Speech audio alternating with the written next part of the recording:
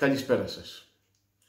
Συνεχίζουμε και απόψε το θέμα μας οι αντιλήψεις περί Θεού στο πέρασμα και στη διάρκεια της ιστορίας, ξεκινώντας από την προτεσταντική μεταρρύθμιση για να φτάσουμε σιγά σιγά στο σήμερα. Είχαμε μείνει στην Αναγέννηση. Την Αναγέννηση διαδέχεται η εποχή της προτεσταντικής μεταρρύθμισης. Πρωτεργάτης της βέβαια είναι ο ιερωμένος της Παπικής Εκκλησίας Μαρτίνος Λούθυρος. Ο Λούθυρος είναι βέβαια θρήσκος άνθρωπος, αλλά επαναστάτης. Επαναστάτης εναντίον του παπισμού. Δεν δέχτηκε το ρόλο του Πάπα και της κληρικοκρατίας της Δυτικής Εκκλησίας να είναι αναγκαίος μεσολαβητής μεταξύ Θεού και ανθρώπων. Ας θυμηθούμε τα περίφημα συγχωροχάρτια. Ο Λούθυρος γίνεται ένας θρησκευτικός επαναστάτης εναντίον της αυθεντίας του Πάπα.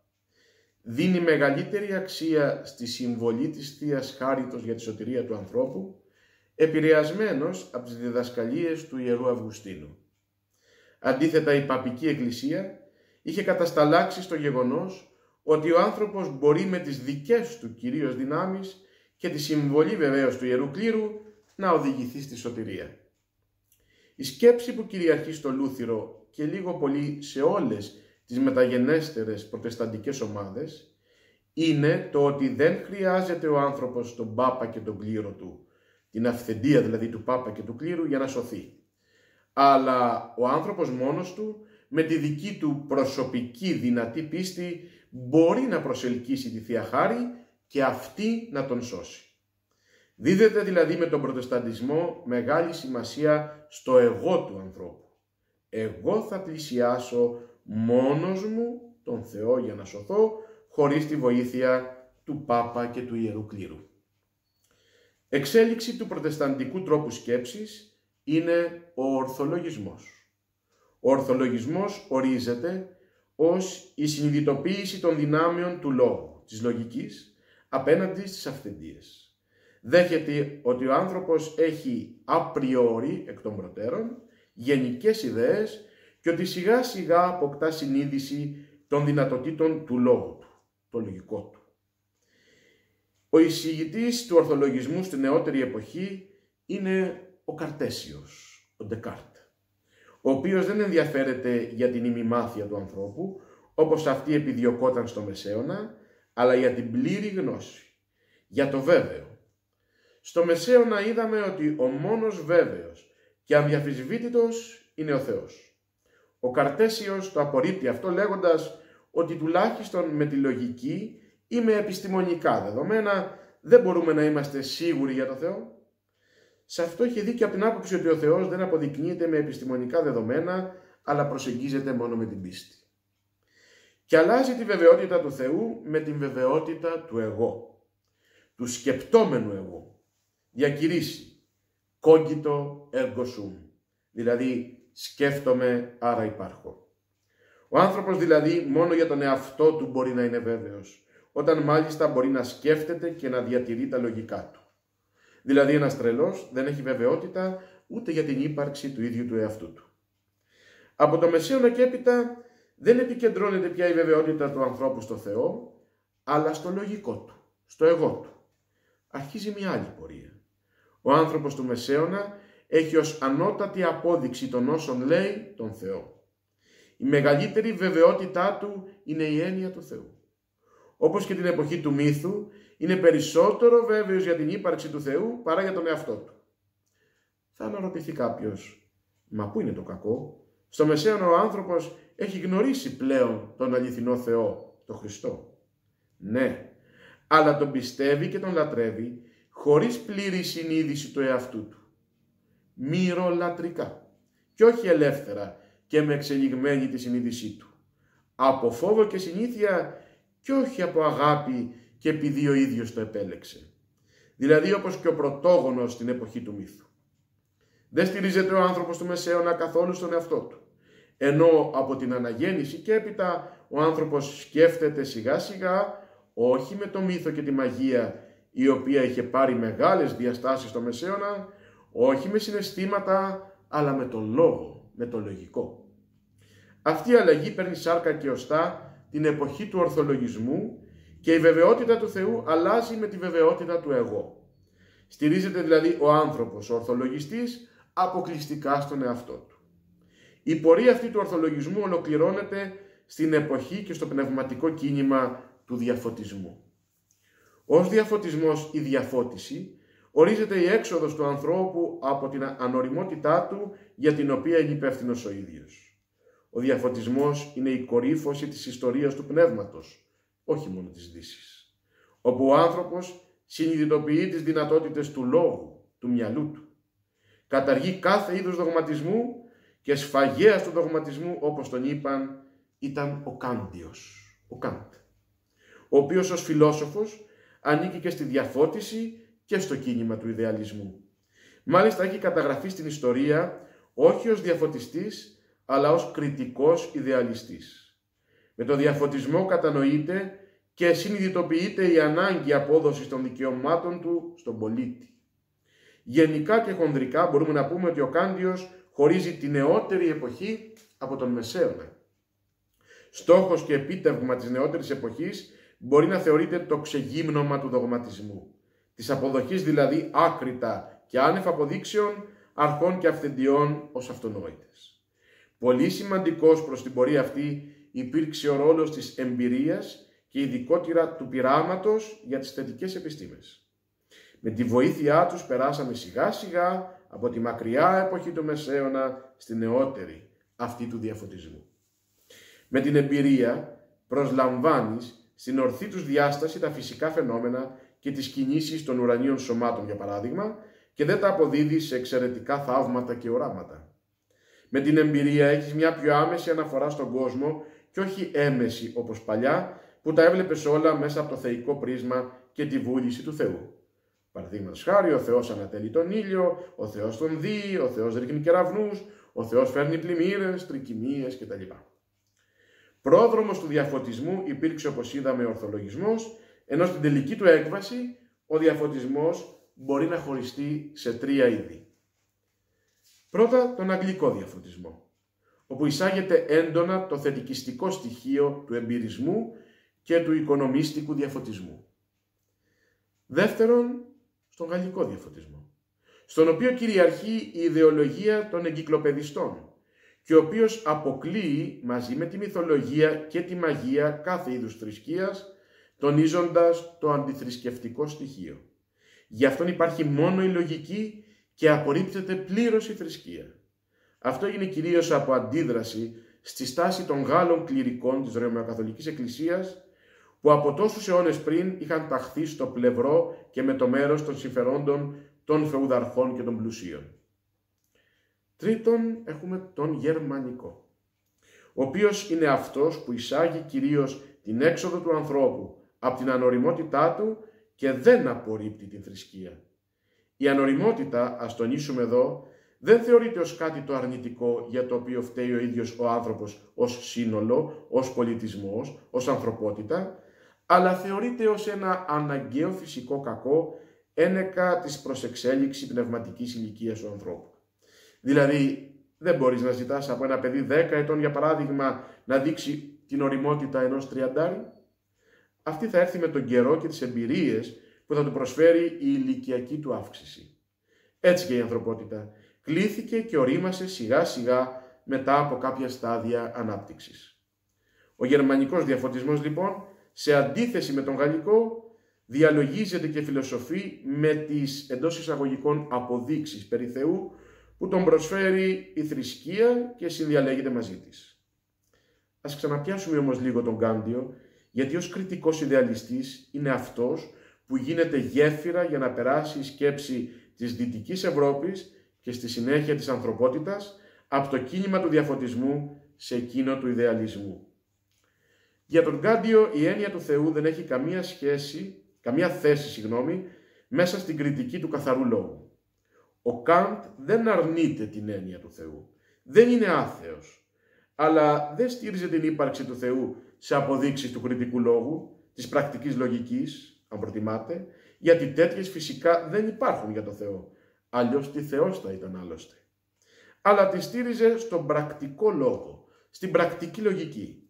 Δηλαδή ο άνθρωπος έχει ανάγκη το Θεό νιώθει την ανάγκη της ύπαρξης του Θεού και έχει την ανάγκη να πιστέψει σε Αυτόν, άρα υπάρχει, λέει ο Κάντιος. Αποδέχεται δηλαδή την ύπαρξη του Θεού ως αίτημα του ανθρώπου για να τιμωρείται το κακό και να αμείβεται το καλό, έστω και στην άλλη ζωή, για να μπορεί η ζωή του, η επίγεια του ανθρώπου, να έχει νόημα. Διότι πρέπει να τιμωρείται το κακό και να αμείβεται το καλό. Αυτή είναι κατά τον Κάντιο και η απόδειξη της ύπαρξης του Θεού.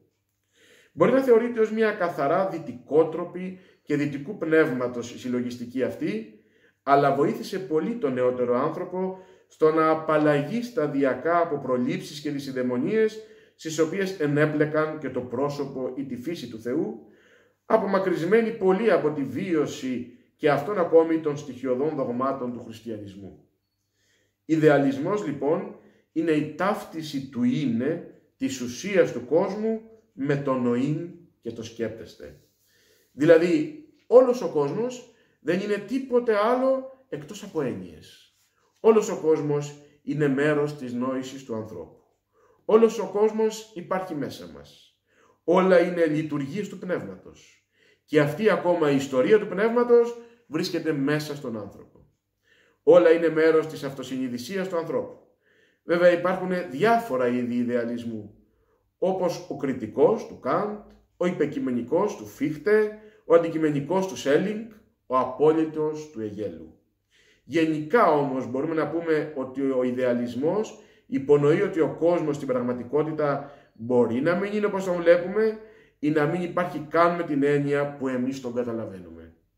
Αλλά ό,τι γίνεται γύρω μας φαίνεται έτσι επειδή ο δικός μας νους θέλει ή μπορεί να τα συνειδητοποιεί έτσι από την κατασκευή του. Όλα τα νιώθουμε μέσα από το προσωπικό μας ανθρώπινο πρίσμα και τη δική μας ανθρώπινη ιδέα. Ο ηλισμός που θεωρείται αντίποδας του ιδεαλισμού, γιατί το μόνο σημαντικό για αυτόν είναι η ύλη και πατέρας του είναι ο Μάρξ, πιστεύει ότι το πνεύμα είναι μια απλή αντανάκλαση της ύλης και απολυτοποιεί τον οικονομικό του παράγοντα. Όμως αυτός ο διαχωρισμός στην ουσία δεν έχει νόημα, διότι ο υλισμός θέλει να θεμελιώσει την ιστορικοκοινωνική του πραγματικότητα επί τη βάση τελικά μιας ιδέας, για χάρη της οποίας πολλοί οπαδοί του υλισμού χάθηκαν σε διάφορες κοινωνικοπολιτικές επαναστάσεις. Η πολύκροτη αντίθεση λοιπόν υλισμού και ιδεαλισμού είναι μάλλον εξωτερικό γεγονός ή το πολύ πολύ να δεχθεί κανείς ότι ο υλισμός αποτελεί μία διαφοροποίηση ιδεαλισμού ή ένα περαιτέρω στάδιο εξέλιξής του, σαν και αυτά που αναφέραμε παραπάνω. Εν συνεχεία, ο Κίρκεγκορτ, ως πατέρας του υπαρξιακού προβληματισμού, στρέφει τα προβλήματα που απασχολούν τον άνθρωπο από ιδεολογικά σε υπαρξιακά.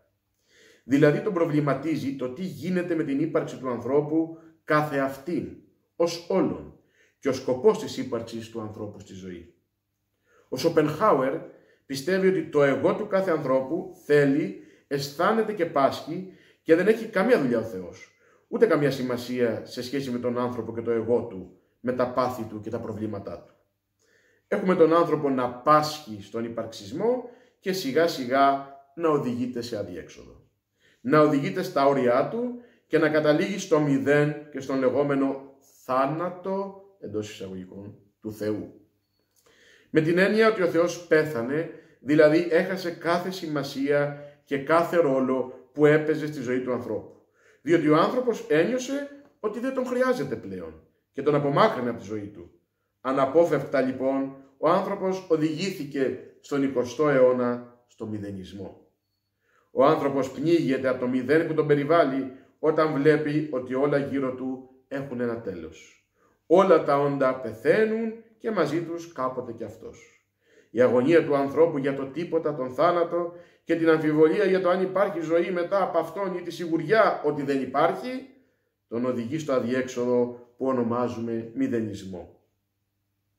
Θυμηθούμε εδώ τον Ζαλ Πολ Σάρτρε στον ηρωικό μηδενισμό.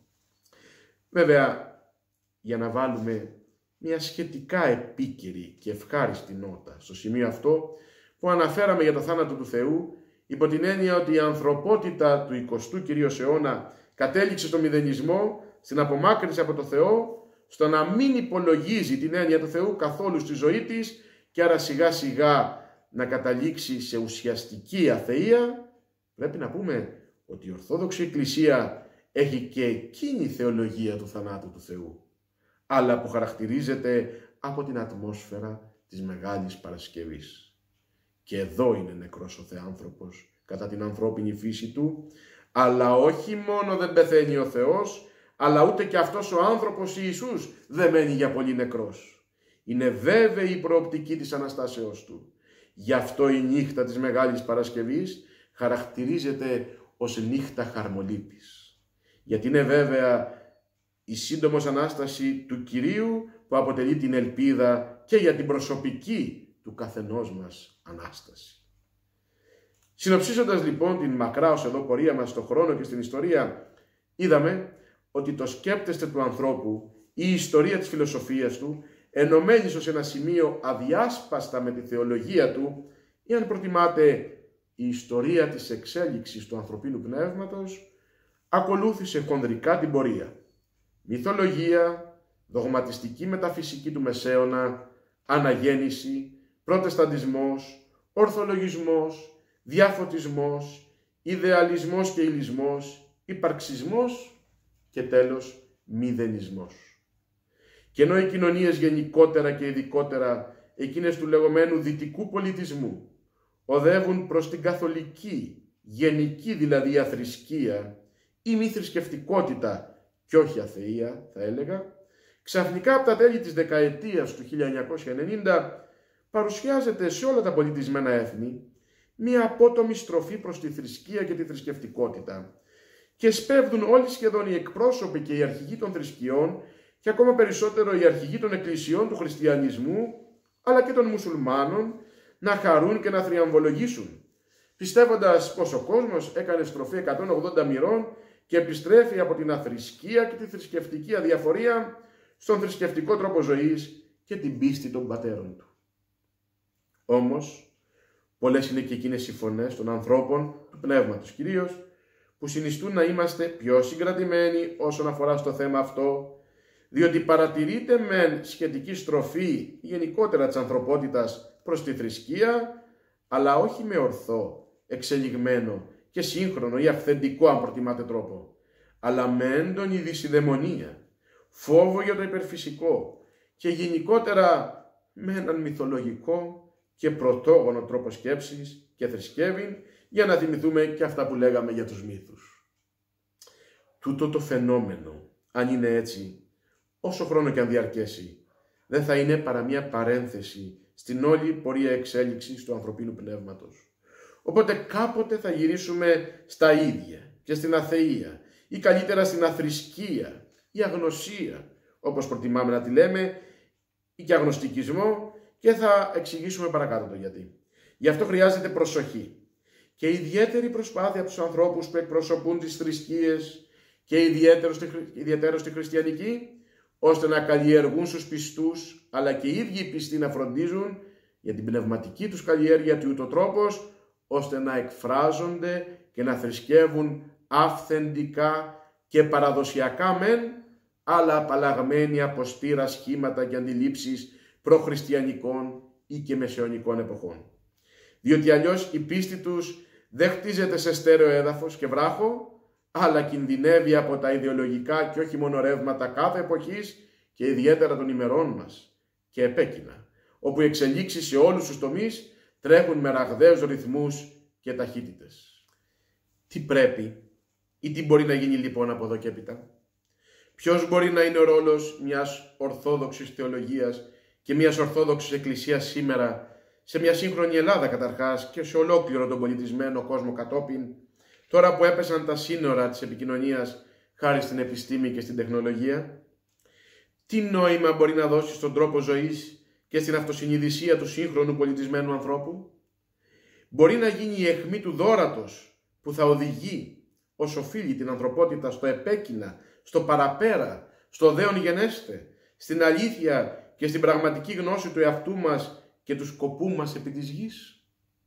Μπορεί να σώσει το σύγχρονο άνθρωπο από τα τόσα προβλήματα που που τον αποπροσανατολίζουν και τον ρίχνουν προς τα πίσω και όχι προς τα μπρος, προς την απελπισία και όχι προς την ελπίδα, ουσιαστικά προς το θάνατο και όχι προς τη ζωή. Η απάντηση εκ πρώτης όψεως θα ήταν ίσως απλή και εύκολη, αν παραδεχόμαστε ότι πράγματι, εκ όλα και παραδειγματισμένοι από τον όλο ρόλο της στην ιστορία, η Ορθοδοξία μπορεί και σώζει τον άνθρωπο. Τον εξανθρωπίζει και τον αγιάζει. Τον οδηγεί δηλαδή στον αυθεντικό στόχο και σκοπό του. Στο επέκεινα, στο υπερβατικό. Ναι, έτσι λέμε και κηρύττουμε, αλλά καταλαβαίνουμε όταν τα λέμε αυτά τι ακριβώς εννοούμε. Ή μιλάμε τελείως από θρησκευτικής πλευράς και δεν γνωρίζουμε πώς να λειτουργήσουμε ως άνθρωποι και ως ορθόδοξοι χριστιανοί μέσα στην εκκλησία μας. Για να υποψιαστούμε κάπως όλοι μας αυτά που άλλοι τα ζουν και τα βιώνουν, χωρίς να τα εκφράζουν με λόγια, πρέπει ίσως να προβληματιστούμε σε κάποια θέματα και να τα δούμε υπό το πρίσμα της εποχής μας και να τα ορίσουμε έτσι που θα τα πλησιάζει η λογική μας και θα τα νιώθει απόλυτα η ψυχή μας. Τι δέον γενέστε από εδώ και έπειτα στην ανθρωπότητα; Προσεγγίζοντας καταρχάς απολογητικά τον Θεό, παραδεχόμαστε ότι υπάρχει. Αφού ο άνθρωπος μπορεί να μιλά για την έννοια του Θεού και τον έχει συνεχώς σχεδόν εντός του νου του. Αν δεν υπήρχε, αν ήταν ανύπαρκτος, πώς θα μπορούσε να συλλάβει από το πουθενά ο άνθρωπος την έννοια του Θεού; Έτσι υποστηρίζει ένας κανόνας, ένα επιχείρημα της απολογητικής θεολογικής επιστήμης. Ούτε θα διερωτά του άνθρωπος αν υπάρχει ή όχι Θεός. Σκοπός του ανθρώπου, όπως και ουσία του, είναι να πετύχει ο άνθρωπος την αυθυπέρβασή του. Να μεταβεί δηλαδή από αυτό που είναι σε αυτό που πρέπει να γίνει. Το πρόβλημα της Εκκλησίας είναι να οδηγήσει τον άνθρωπο αξιολογικά προς το καλύτερο. Και καλύτερο για τον άνθρωπο είναι αυτό που πασχίζει χρόνια η Εκκλησία να το καταφέρει.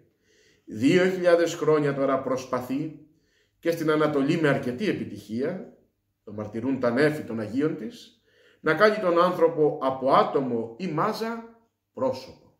Και τι πρόσωπο; Όμοιο με εκείνο του Θεανθρώπου Χριστού. Αυτό είναι η σωτηρία έτσι όπως την εννοούμε.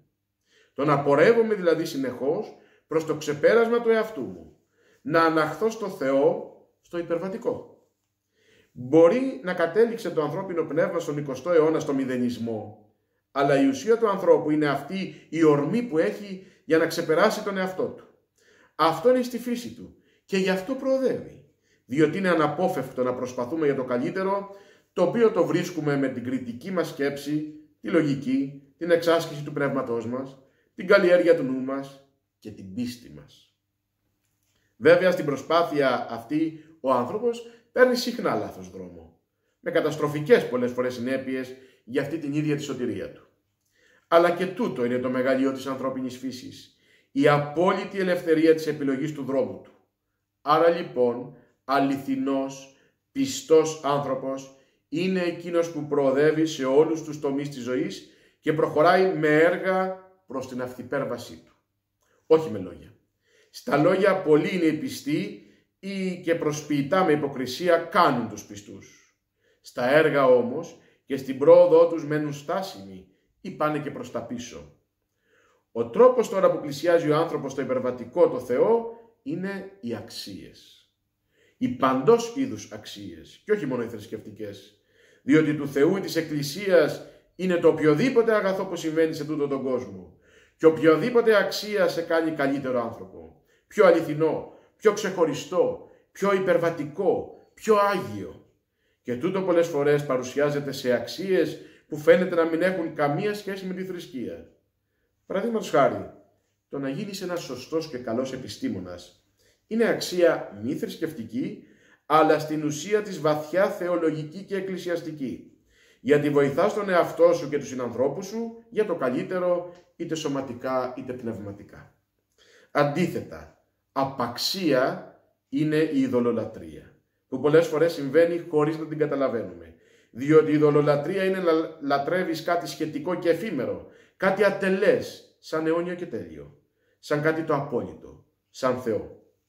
Παραδείγματος χάρη, μια αθλητική ομάδα, ένα πολιτικό κόμμα, το χρήμα, τον εαυτό μου, κάποιον ηγέτη, εραστή, ερωμένη κτλ. Άθεος όμως δεν είναι απαραίτητα εκείνος που δεν θρησκεύει, αλλά εκείνος που στερείται το Θεό. Εκείνος ο άνθρωπος που δεν έχει το Θεό του, όπως λέει ο λαός μας. Κάθε φορά δηλαδή που πράττει έτσι, ώστε να κάνει το αντίθετο από εκείνο που πρέπει σε κάθε περίπτωση, εκείνος που κάνει δηλαδή το κακό. Αυτό κάποτε, άλλο σπάνια, άλλο πιο συχνά, το κάνουμε όλοι. Και στην προκείμενη περίπτωση γινόμαστε άθεοι ή αμαρτωλοί, αν το προτιμάτε, λοξοδρομούμε δηλαδή από την πορεία που μας οδηγεί στο υπερβατικό, στο δέον, στο Θεό.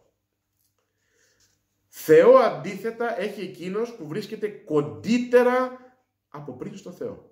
Αυτό το κοντά, αυτό το κοντύτερα ονομάζεται αγιότητα. Έχει Θεό λοιπόν, έχει θρησκεία αυτός που έχει εγκύτητα στο Θεό.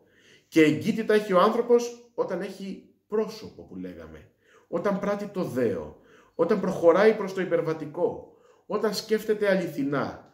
Όταν πραγματοποιεί το καθομοίωση.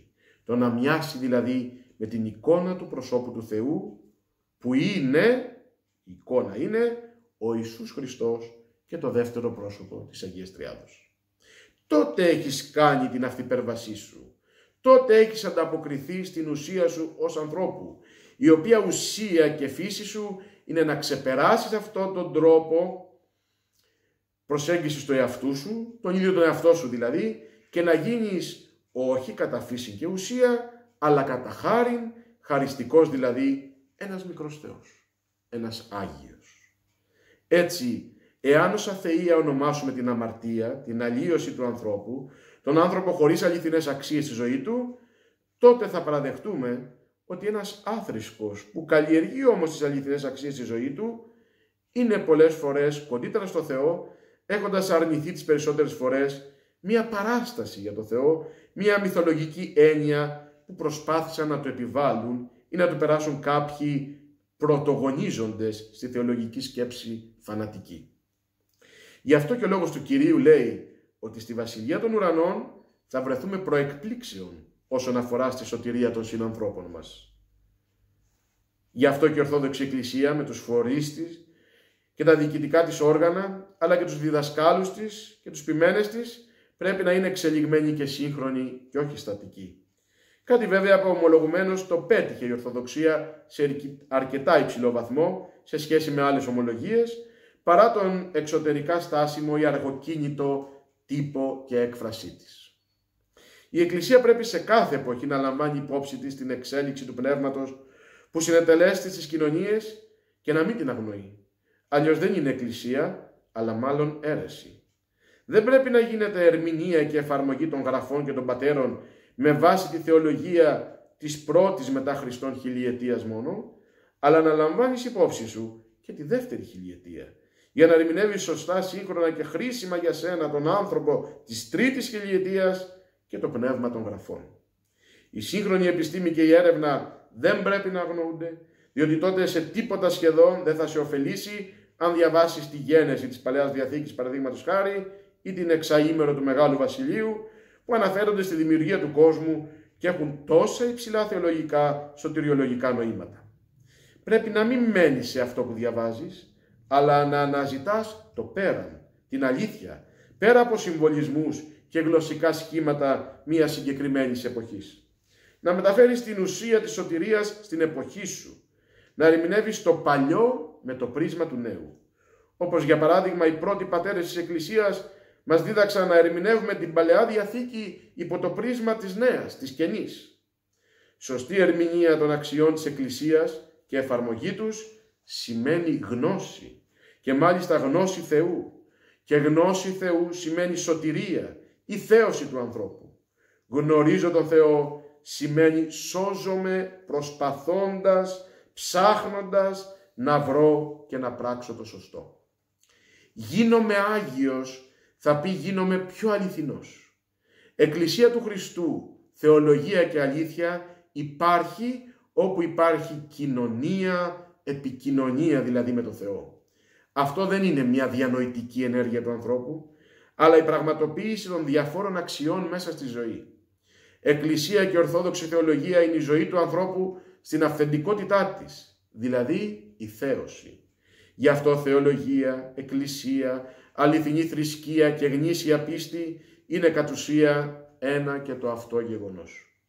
Στην εποχή μας όλα τα επιμέρους προβλήματα του ανθρώπου παίρνουν τη λύση τους μόνο αν τα αναφέρουμε ως όλων και όχι αποκομμένα από την άολη στάση ζωή μας και κοσμοθεωρίας μας.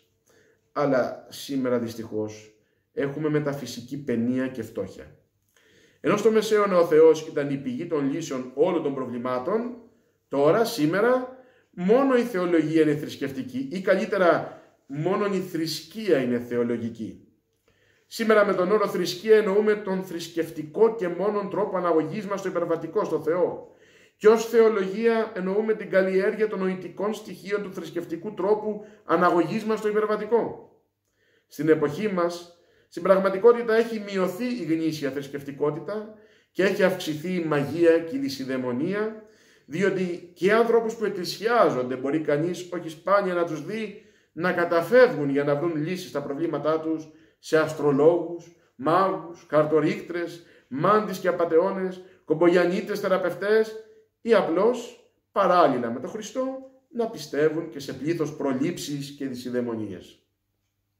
Έχω την εντύπωση ότι επιστρέφουμε στη θρησκεία ως κοινωνία όχι από γνήσια πίστη και αγάπη προς το Θεό, αλλά διότι επέστρεψε στη ζωή μας το παράλογο, ο φόβος για τη μεταθάνατον τύχη μας και οι υπαρξιακές και μεταφυσικές ανασφάλειές μας.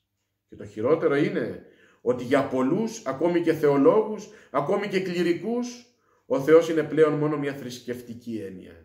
Μια έννοια που πολλές φορές δεν έχει σχέση με το υπερβατικό και τον υψηλό στόχο της ανθρώπινης φύσης, που είναι η θέωση. Διότι πραγματικά ο υπερβατικός Θεός είναι πιο πέρα από τη θρησκευτική έννοια που δίνουμε στο Θεό, ακόμα και σήμερα. Είναι πλέον τόσο μακριά ο Θεός από μας, τους γήινους και χωμάτινους και ξεπερασμένους ανθρώπους, ώστε να μην τον φτάνουμε. Όχι βέβαια, αλλά είδαμε για παράδειγμα το κράτος σε ολοκληρωτικά καθεστώτα να προσπαθεί να αντικαταστήσει τη θρησκεία όπως και τον αθλητισμό και τους καλλιτέχνες σε ορισμένες περιπτώσεις να κάνουν το ίδιο. Να αντικαθιστούν τη θρησκεία δηλαδή ως απόλυτο με τον αθλητισμό και την τέχνη. Όταν λοιπόν δεν υπάρχουν στη ζωή μας αληθινές και όνειες αξίες, αλλά σχετικές και εφήμερες όπως οι παραπάνω, όχι ο αθλητισμός και οι τέχνη αξίες, αλλά διάφοροι συγκεκριμένοι φορείς τους που τα αναγάγουν έτσι, χάνεται στον άνθρωπο η ορμή για ζωή, για θέωση, διότι οι αξίες οι αληθινές είναι πέρα από στόχος, είναι και το περιεχόμενο της ζωής και αναπτύσσεται η ορμή του θανάτου. Βλέπε ναρκωτικά, βία και εγκληματικότητα. Ως αποτέλεσμα στις μέρες μας υπάρχει το φαινόμενο του οικονομισμού, που σημαίνει απολυτοποίηση του κέρδους. Ο άνθρωπος αντικαθιστά τις αξίες με τον οικονομισμό. Τον κάνει υποκατάστατο των αξιών του. Κατάντησε σήμερα να παραγωνίσει τις άλλες αξίες και να γίνει ιδεολογία ο οικονομισμός. Είναι το τελευταίο στάδιο της εξέλιξης του ανθρώπινου πνεύματος που προς το παρόν μας οδηγεί και στο ίδιο μέλλον. Ο άνθρωπος, επειδή δεν μπορεί να ζει χωρίς αξίες, βρίσκει διάφορα υποκατάστατα αυτών. Δηλαδή, ψευδείς αξίες. Και αυτό για τη φύση του ανθρώπου μισεί το κενό. Τέτοια ψευδή αξία είναι τα ναρκωτικά και ο οικονομισμός. Είναι βαθιά θεολογικά προβλήματα αυτά, διότι σε αυτή την πλάνη έχουν πέσει και άνθρωποι, όχι λίγοι, που θέλουν να λέγονται άνθρωποι της Εκκλησίας. Και ενώ η Εκκλησία εκείνο που κάνει από τη φύση της είναι να δίνει στόχους αληθή στον άνθρωπο, εκείνοι έχουν ως στόχο τους το χρήμα και σε αυτό πιστεύουν και μνέουν περισσότερο από ότι στο Θεό, στο συνάνθρωπο, στον ίδιο τον εαυτό τους. Και επειδή εμείς όλοι οι άνθρωποι είμαστε η Εκκλησία, εμείς αποτελούμε την Εκκλησία, άλλη δυνάμει και άλλη ενεργεία, ας μην πέφτουμε στην πλάνη να θεωρούμε ως άθεους και αμαρτωλούς ανθρώπους που δεν θρησκεύουν όπως εμείς έχουν διαφορετική αντίληψη της έννοιας του Θεού από ότι εμείς, αλλά η ζωή τους είναι υπόδειγμα για πολλούς εντός εισαγωγικών Αγίους, διότι άθεος, όπως προείπα, είμαστε ο καθένας από μας όταν αμαρτάνουμε. Και Άγιοι γινόμαστε όταν επανερχόμαστε στην πορεία της κατακτήσεως της κορυφής, καλλιεργώντας τις αξίες του δέοντος τρόπου ζωής για τον άνθρωπο. Οι καιροί άλλαξαν και η θρησκευτικότητα των ανθρώπων αλλάζει αργά και σταδιακά ανά τους αιώνες. Σήμερα, ίσως πιο γρήγορα από ποτέ, διότι αλλιώς εκφραζόταν σε ό,τι αφορά στην επικοινωνία με το Θείο στο Βυζάντιο, αλλιώς όμως ο άνθρωπος θέλει να εκφραστεί τώρα, κρατάει όμως σαν συνθετικό κρίκο, σαν σκάλα και γέφυρα του κοινού αγώνα των ανθρώπων κάθε εποχής, τον στόχο και το σκοπό της φυλής μας, του ανθρωπίνου είδους μας, που είναι το ξεπέρασμα της απαξίας και η καλλιέργεια της αξίας.